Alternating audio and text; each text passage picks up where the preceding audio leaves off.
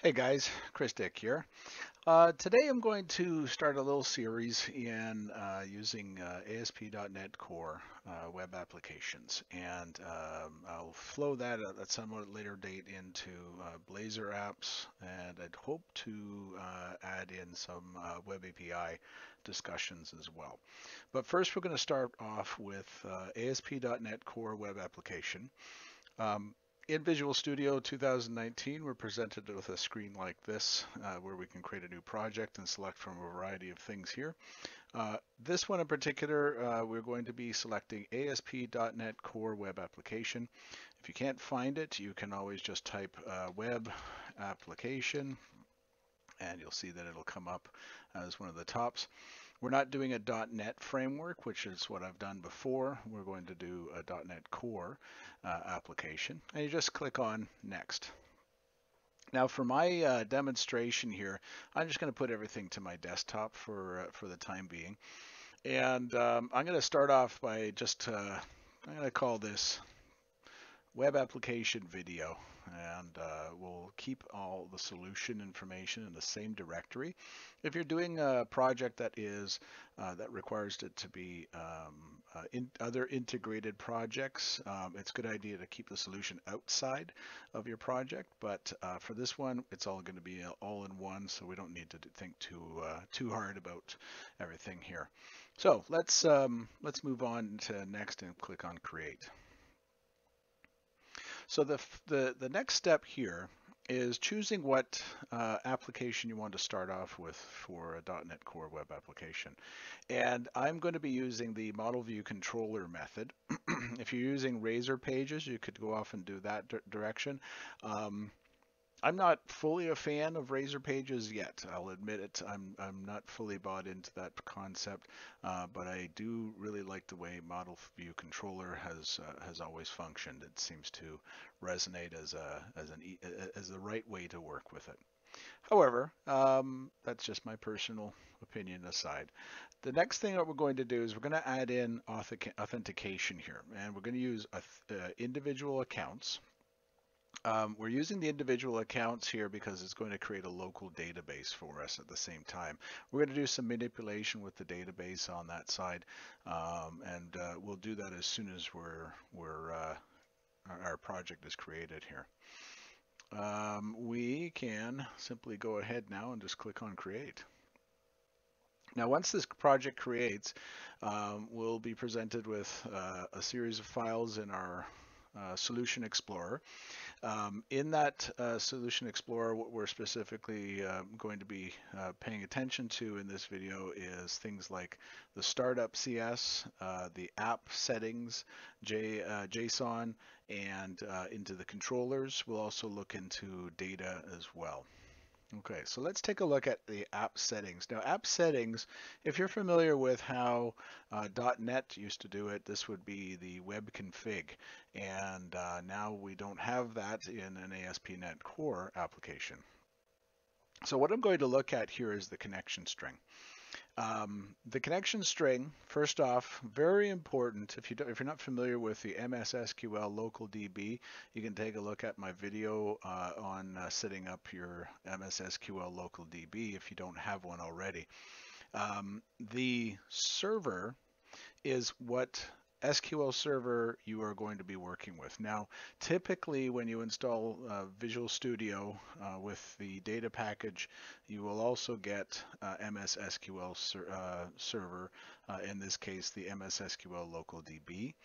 Um, if you don't, uh, again, you can watch that video and you can set it up. Or sometimes people will use SQL Express or they have a full version of SQL that, uh, that the server that they have installed in their system, just make sure that you use your uh, server here, okay? And that can be a little tricky, but um, just be aware of what servers you actually have on your system, okay? The next thing is the database name. You'll notice here, okay, um, it's a big long name, and uh, I, for one, don't really like the big long name, but it they do that on purpose so that it's unique to your application. Um, what I tend to do is just kind of bring it down to something simple. notice where I'm taking this information out. I have the equal sign here, and then I go right to the end, right to this semicolon. Keep the semicolon because that's a delimiter between each of these uh, properties. Um, and I'm just going to call this database web application video. Okay. What what what would what will happen now is that when I run this application and register a user, it is going to do something called uh, migrations. It's going to run migrations and it's going to update my database. All right. The name of uh, the migrations that it will be running in this case is uh, create identity okay? And it's what it's going to be doing here is it's going to be setting up all the Microsoft ASP.NET identity tables. So we have roles users uh, role claims and they all have a certain reason for using them. Um, we won't be digging into all of them but I thought I would just let you know that this is what it will be doing okay? Now you can run these migrations from the package manager console just the same. Um, if I, uh, in fact, want to do that right now, I can just type update database. And what that's going to do is is going to go out to my uh, local DB right here, okay? And it's going out and building that database, okay? Now, when I pull up my SSMS, and I, I, I open up my uh, MS SQL local DB, um, I'm going to be able to see that database is now created. And if it just takes a second to load it up, um, but here we go. Let's see, we got databases, and I have a lot of databases in here. Uh, right here, here's our database. That's the one we just created. If we look at the tables, this is essentially all the tables that it created right there. Uh, it's a nice thing that uh, that migrations does. Uh, it's a great tool um, for managing your databases and keeping them up to date and in um, and, in, and connected to what changes are happening in your application. If you do any kind of changes um, that affect a data context of any sort, um, uh, Visual Studio and Entity Framework will will pick that up and migrations will say, hey, there's a change that you've made. Um, you'll have to fix that and uh, and then we can move on. Uh, and when we fix that, by fixing it, I mean update the database with the changes, um, you will find that it uh, you know adds any of the changes in here.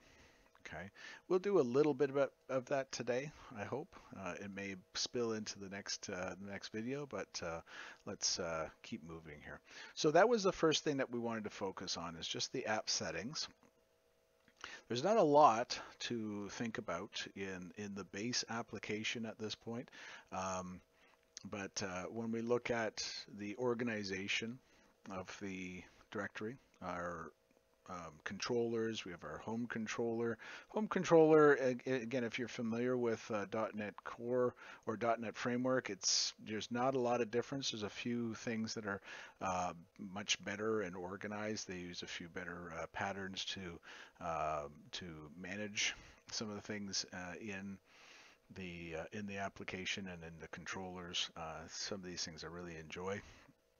Some of them can be a little more verbose than they need to be. Uh, models, as usual, is in a models folder. This is a model view controller uh, folder or a uh, application. And of course, here's our views. Okay. Now, let's uh, go ahead and run this application. Now, the first time, as always, as you always know, it uh, will take a little bit more time to start up that first time, but once you get it running, it uh, it'll be much quicker to to get moving. Um, we're presented right away with our home screen. All right, out of the box, we have our home, we have privacy policy, uh, a few other uh, uh, navigation buttons, a login screen, all right, and a register. Okay, so what I'm going to do is I'm going to register a uh, user. For this one, I'm just going to pick these the default uh, suggested password. I won't even know what that is. I'll guarantee it. But by doing a register here, what it will do is uh, register in the database. Okay. Now, if I go over here into my SSMS and just open up the database, you're going to see that uh, that user is now in the database. And that's me right there. That's the one I just created. Okay. Um, one thing that uh, you want to be aware of is that by default, uh, ASP.NET Core will write this uh, to the database as an email unconfirmed. So it's a zero. Okay. And if you read here, it actually says click here to confirm your account. All right. And all that does is it reaches into the database and changes that value to a 1. So if I do this and uh, just click on refresh, you now see that we have a value of 1 for email confirmed. So very simply, uh, that's what that part does. Traditionally, however, what you would be doing here is you would be sending um, the user an email and uh, that requires uh, a couple other ways of sending email essentially um, but uh, we're not doing that right now so now that we've activated our account we can log in. Okay so if I log in I'm now seeing hello uh, Chris Dyck and um, I can look at what's my email, uh, my password. I can update my password. Two-factor authentication here. This is something really interesting as well. Um, you can do that so that it sends a, a, a SMS message. Um, you know, personal data. If you have, uh, if, you, if you want to enable people to download their data so that it's not um, uh, not not super private. Uh, you can pull all that information down, and all the features are sort of stock built into the ASP.NET Core application. Uh, even being able to delete your account is there. Um, so things that you want to think about when you're developing an application. Um, it's the great things about setting up some of these applications though is that there's a lot of stuff that's sort of out of the box and you just have to add a few things to it to uh, expand and, uh, and, and add the appropriate tools to make it suit your needs. So let's uh, log out here. So with all that, we've got our first uh, .NET Core web application up and running. Okay. So that's that for this video. Very short. Uh, the goal was just to get you up and running, get you uh, to a point where your application would work. Um, and uh, the next video, I'll start uh, by adding some uh, new data context and controllers to satisfy some of the needs of your data integrated uh, web applications. All right, have a great day. Remember to like and subscribe. We'll catch you soon. Bye-bye.